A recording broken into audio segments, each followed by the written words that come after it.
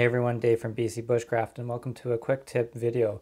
This is a very simple quick video on a carving tip that I have for you guys. I used this carving tip when I was carving out this handle for my hidden tang knife. Um, I've been doing this for a long time, I just haven't uh, you know gotten around to it, but I thought I would share with you a, a tip that I have um, using a bigger knife and getting more of the detail in here and stuff like that. You know, you can do this instead of buying those like $30 Mora carving knives that, you know, have a really small blade and are meant for kind of the fine detail carving getting in these spaces because using a bushcraft knife to get in these spaces is quite hard and can be dangerous and you can cut yourself like I have a couple times on my fingers. So the quick tip that I have for you guys today is changing, you know, your Mora Classic one or maybe even your Mora Companion into something that's easier to carve with.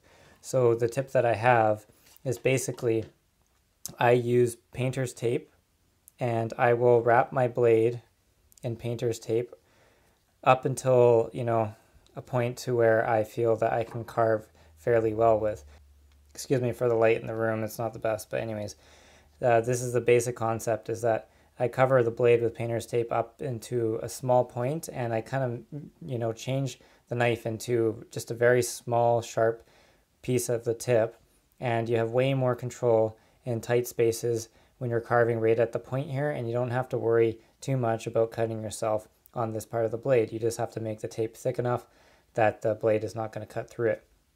So it helps when you're trying to get in these tight spaces, when you're like just taking little shavings off of you know, these tight spaces when if you have a full bladed knife, it can be very dangerous to come into here. And that's why I have that scar there is from doing stuff like that. So uh, this is a tip that can kind of save your finger and it also can save you, you know, $30 in buying a, a Mora carving knife and basically changing your whatever bushcraft knife that you have into a carver.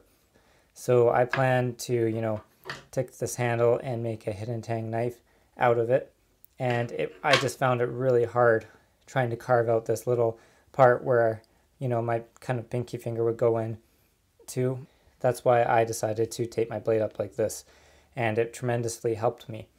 So you could do something like this easily enough with your Mora companion because it's got a skinny enough tip up here you could maybe tape it up until there and I suggest using painter's tape over something say like electric uh, electrician's tape or electrical tape or duct tape because you just can get the gluey stuff on your knife. And with painting with painter's tape it, it doesn't leave the residue on your knife. That's kind of hard to clean.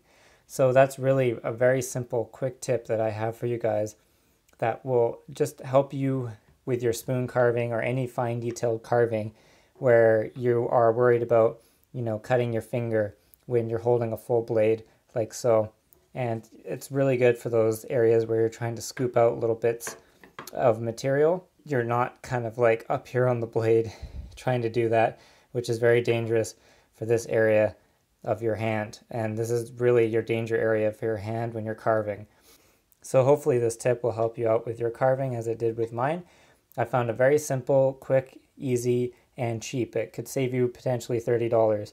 And, you know, I mean, one of those Mora carving knives is basically just a knife that, that, that is this big so uh, you can easily change some of your smaller bushcrafty type knives into one of those carving knives by doing something simple like this. Anyways, I hope that you enjoyed the video. This is Dave from BC Bushcraft. Please like, comment, and subscribe, and I'll see you in the next video.